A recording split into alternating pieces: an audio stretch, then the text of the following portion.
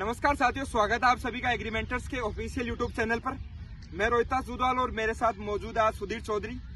आज के इस वीडियो में हम आपको बताएँगे कि पार्टिकल डेंसिटी और ब्लड डेंसिटी में क्या डिफरेंस होता है और आपको इसके लिए हम आए हैं आज आईआरआई के फ़ील्ड में और हम लाइव इस चीज़ को आपके साथ डिस्कस करेंगे। तो सुधीर सर, दर्शकों को बताइए कि पार्टिकल डेंसिटी और ब्लड डेंसिटी में क्या डिफरेंस होता है और डेंसिटी क्या होती है सबसे पहले? सबसे पहले दोस्तों पार्टिकल डेंसिटी और बल्क डेंसिटी को समझने से पहले आप डेंसिटी समझिए। डेंसिटी होती है मास अपॉन वॉल्यूम ये सुनो।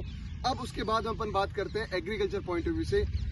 बात करते हैं बल्क डेंसिटी की। और अगर आप इंजीनियरिंग पॉइंट ऑफ़ व्यू से बात करोगे तो बात करते हैं पार्टिकल डेंसिटी की। बल्क डेंसिटी होती है अगर आप मास ये कोई एक सोइल एग्रीगेट है, इसका आपने वॉल्यूम लिया और इसका आपने मास लिया जो ड्राई सॉइल का होगा। उसको अपन बोलेंगे बल्क डेंसिटी और एग्रीकल्चर पॉइंट ऑफ़ व्यू से बल्क डेंसिटी ही इंपॉर्टेंट होती है और नॉर्मल एग्रीकल्चरल सोइल की बल्क डेंसिटी है 1.33 ग्राम पर सेंटीमीटर क्यूब अब बात करते हैं पार्टिकल डेंसिटी की. तो particle density mass of soil solids upon total volume of soil mass of soil solids मतलब सिर्फ़ उसमें mass of soil matrix sand silt और क्ले का ही अपन मास लेते हैं, उसमें एरिएशन अपन इंक्लूड नहीं करते। इसी रीजन से जो बल्क डेंसिटी का ट्वाइस होता है पार्टिकल डेंसिटी जो कि होता है 2.66 ग्राम पर सेंटीमीटर क्यूब रोहिता जी। बिल्कुल, आपने एकदम करेक्ट जो डिफरेंस था, वो आपने बताया। तो मैं ये बात करना चाहूँगा कि जो पार्टिकल डेंसिटी होती है, वो क्या हमारी टिलेज ऑपरेशन से अफेक्ट होती है या नहीं अफेक्ट होती?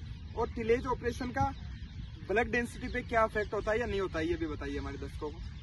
देखिए, जब आप टिलेज एक्टिविटी करते हैं तो बल्क डेंसिटी डिक्रीज होती है इनिशियल स्टेज पे। लेकिन आप अगर कंटिन्यूसली टिलेज एक्टिविटी करेंगे तो बल्क डेंसिटी इंक्रीज होती जाएगी ओवर द ईयर्स जो आप कन्वेंशनल टिलेज एक्टिविटीज़ में देखते हो।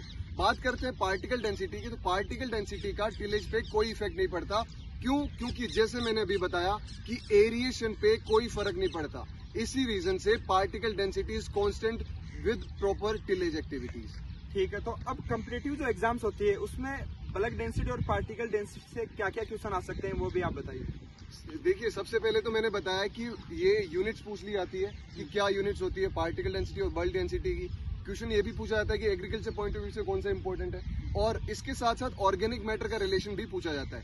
With increase in organic matter अगर आप एफ़ वगैरह डालोगे तो बल्क डेंसिटी पे क्या फ़र्क पड़ेगा पार्टिकल डेंसिटी पे क्या फ़र्क पड़ेगा? देखो बल्क डेंसिटी भी रिड्यूस होगी और पार्टिकल डेंसिटी भी रिड्यूस होगी। इसका रीजन क्या है कि ऑर्गेनिक मैटर जो है, वो लो वेट का कॉम्प्लेक्स है, जैसे 0.5 ग्राम पर सेंटीमीटर क्यूब है ऑर्गेनिक मैटर की बल्क डेंसिटी अगर आप 1.33 में कोई 0.5 वाली चीज़ मिक्स करोगे तो उसकी टोटल वैल्यू रिड्यूस हो जाएगी। हाँ या ना? तो वही कॉन्सेप्ट है ऑर्गेनिक मैटर के साथ। तो उम्मीद है आप सभी को यह जानकारी अच्छी लगी होगी और इसी प्रकार से आगे भी आपको वीडियो जो प्रैक्टिकली हम फ़ील्ड में आकर आपको, अगर आपके कंसेप्चुअल क्लियर करा सके तो वो ज़्यादा बेटर होगा। आज के लिए इतना ही। जय हिंद, जय भारत।